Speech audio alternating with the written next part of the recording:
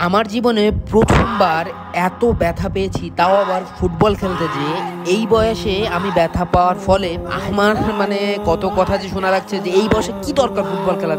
আপন মানুষই সব থেকে বেশি বাস দেয়। আমাকে যারা নিয়ে যাচ্ছে তাদের আঘাতেই আজকে আমার পায়ের অবস্থা এরকম আজকে আমার মন ভালো নেই।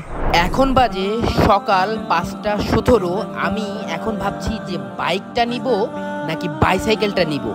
কারণ সকালে আজকে যাচ্ছি ফুটবল খেলতে, তো একটা বড় পরিকল্পনা রয়েছে। এই জন্য কোনটা নিব সেটা চিন্তা করছি। অনেক চিন্তার ভাবনার পরে বুঝলাম যে না, আমি যেহেতু জগিংয়ে যাচ্ছি, তার মানে আমাকে বাইসাইকেলটা নিতে হবে। বাইকটা নিলে কোনো উপকার হবে না। তাই চট করে জুতোটা পরে ফেললাম। জুতোটা পরে সব কিছু ঠিকঠাক ছিল। জগিংয়ের উদ্দেশ্যে বের হলাম। আম্মু এই আপেলটা দিল। ভাবলাম যে সকালবেলা করে একটা ভালো একটা এনার্জি পাওয়া যাবে। এই মোগলেই। এটা হচ্ছে আমাদের বাসার কুকুর, এর নাম মুগলি।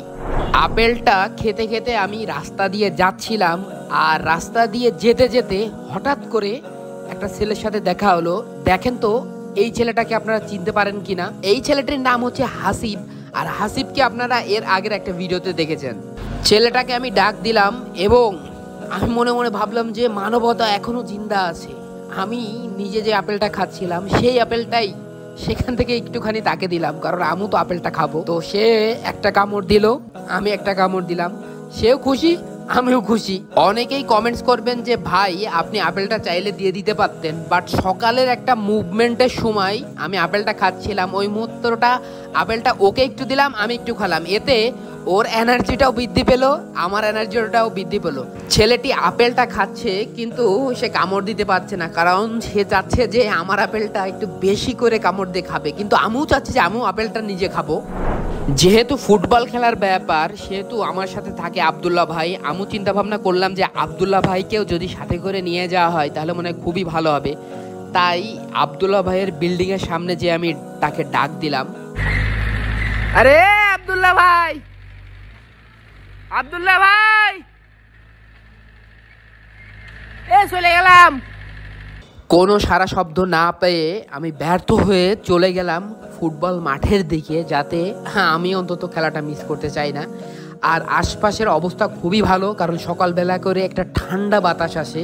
সেই বাতাসটা আপনি মিস করবেন। কারণ যদি আপনি পাঁচটার দিকে ঘুমের থেকে না উঠতে পারেন, তাহলে সকালের ঠান্ডা আবহাওয়াটা আপনি মিস করবেন।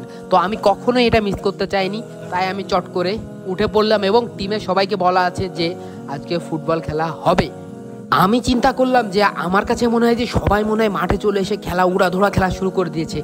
তাই আমি দৌড় দৌড় যে মাঠে গেলাম, মাঠে যাওয়ার পরে যে দেখি তো আমি টোটালে অবাক হয়ে গেলাম যে, এটা কি? এটা কোনো কথা?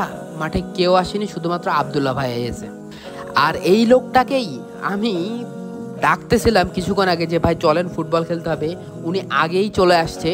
যাক, এটা বেশ ভালো লাগছে।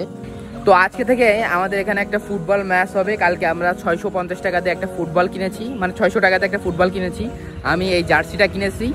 আর হাতের এই যে এই একটু- ভাব মারার জন্য এটা কিনেছি। আর একটা ট্রাউজার কিনেছি।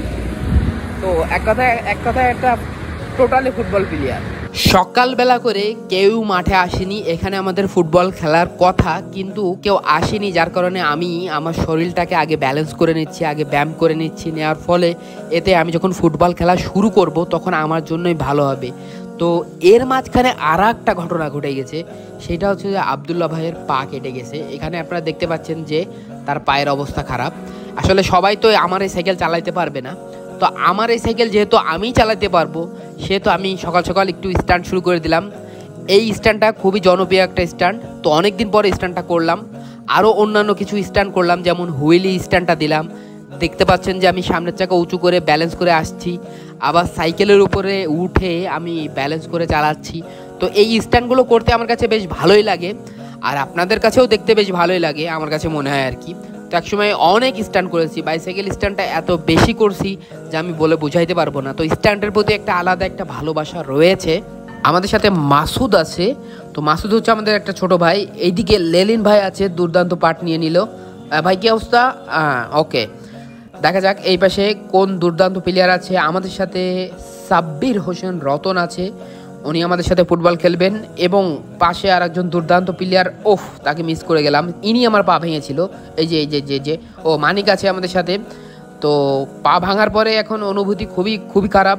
তো আমরা এখন একটু ফুটবল নিয়ে প্রথমে টেস্ট করব, কারণ এই যে বলটা দেখতে পাচ্ছেন, এই বলটা কালকে আমরা ছয়শো টাকাতে কিনেছি। তো তিনজন টাকা দিয়েছে আর কেউ বলের টাকা দেয়নি। তো আসলে আপনাদের সাথেও এমন কিছু হবে যে বল কিনতে টাকা দিয়েছেন চারজন টাকা দিয়েছে, আর কেউ টাকা দেয়নি। তো এমনটা অনেক সময় আমাদের হয়েছে আর কি। তো দেখতে পাচ্ছেন যে আমি আবদুল্লা ভাই সাথে আর পাচ্ছি না, কারণ তিনি দুর্দান্তভাবে কাটিয়ে আমার কাছ থেকে বল নিয়ে যাচ্ছে। আমি পিছনে আছি পিছনে আছি, কোনো কিছুই করতে পারছি না ডানে ভাই। এইবার বল আমি পেয়ে গেলাম ডানে, টান টান টান টান, উত্তেজনা, ডানে ভাই, পাহাড়ে পাহাড়ে, টক্কর। কিন্তু আমার কাছ থেকে বল নিয়ে এত সহজ না। খেলা শুরু করার আগে দেখতে পাচ্ছেন যে আমরা একটু ব্যায়াম করে নিচ্ছি আর কি। দৌড়দৌড়ি এখানে দেখছেন তো দুর্দান্ত দৌড়দৌড়ি। আমার কাছ থেকে বল মানিক কোনোভাবে নিতে পারছে না। আমি দুর্দান্তভাবে কাটিয়ে পাহাড়ে পাহাড়ে টক্কর, বাঘে সিংহে লড়াই, কিন্তু মানিক পড়ে গেল। কিছু করার নেই, কারণ প্লেয়ারটাকে দেখতে হবে তো। আজকে আমি খুব খুব লাফালাফি করতেছি, কিন্তু ভিডিওর শেষে জেনে হয়তো আমার কিছু একটা হয়ে যেতে পারে। তো হাঁপিয়ে গেলাম।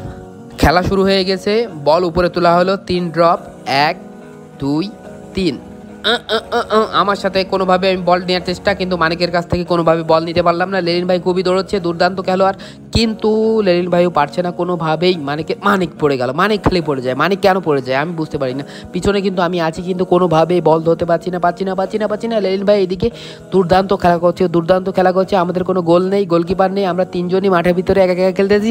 কিন্তু দেখা যাক দেখা যাক দেখা যাক, আমি তার কাছ থেকে বল নিয়ে নিলাম। বল নিয়ে এবার আমাকে তোর দেখে গিয়ে আমি বল কিন্তু জোরে একটা স্পিডে মেরে দিয়েছি, কিন্তু কোনো গোল নেই, গোল, গোলবার নেই, একা একা যে যার যার যার মতন বল নিয়ে দৌড়ে বেড়াচ্ছে। কিন্তু বল এখন আমার পায়ে রয়েছে, আমার পিছনে কেউ নেই। দেখা যাক দেখা যাক, কেউ নেই। না, আমার সামনে দাঁড়ানোর মতন কেউ নেই। এর মাঝখানে আমার পায়ে দুর্ঘটনা ঘটে গেছে, পা মচকায় গেছে আর কি। আমি গোল দিতে গেছিলাম, ওই মুহূর্তে মানে খুবই বাজে একটা অবস্থা হয়ে গেছে। এদিকে লেলিন ভাইয়ের পা কেটে অবস্থা খারাপ। তো অনেক দিন পর ফুটবল খেললে আসলে এমনটা হয় রেগুলার প্র্যাকটিস না থাকলে এই জিনিসটা আসলে হয় খুব। তো এইদিকে আপনারা দেখতে পাচ্ছেন যে মাসুদ আমাকে হেল্প করছে আর কি। সে আমার পা টিপে দিচ্ছে, কারণ আসলে আমি একদমই হাঁটতে পারতেছি না, খুবই বাজে অবস্থা। তো যাক সব কিছুর ভিতরে কল্যাণ রয়েছে। আজ পাঁচ দিন পরে আমি ভিডিওটার অডিওটা রেকর্ড করতেছি। আমি এখন দেখতেছি যে ওই দিন যা হয়েছিল, এর মাঝখানে আমি অনেক কিছু শিখেছি। এটা আমার জন্য একটা বড় শিক্ষা ছিল, আলহামদুলিল্লাহ। আলহামদুলিল্লাহ, আজকে ফুটবল খেললাম অনেকদিন পরে। তো খেলার পরে লেলিন ভাইও আহত হয়ে গেছে, আমিও আহত হয়ে গেছি। এই যে আমার পাশে যে লোকটা দেখতে পাচ্ছেন, এই লোকটার আঘাতে আমার পায়ের এই অবস্থা হয়ে গেছে। তো এখন তিনি আমাকে সহযোগিতা করতেছে হেল্প করতেছে, কিন্তু তার এই সহযোগিতার কোনো কাজে আসছে না, কারণ আমার পায়ের অবস্থা খুবই খারাপ। এইদিকে অনেকেই হেল্প করার চেষ্টা করতেছে, কিন্তু আমি আসলে অসুস্থ। ভিডিওটি শেষ করব গোসল দিয়ে। ওখান থেকে ফুটবল খেলে এসে আমরা গোসল করা শুরু করলাম। গোসল করতে করতে আমাদের ভিডিওটি এখানে আজকের মতন শেষ হচ্ছে। আসসালামু আলাইকুম।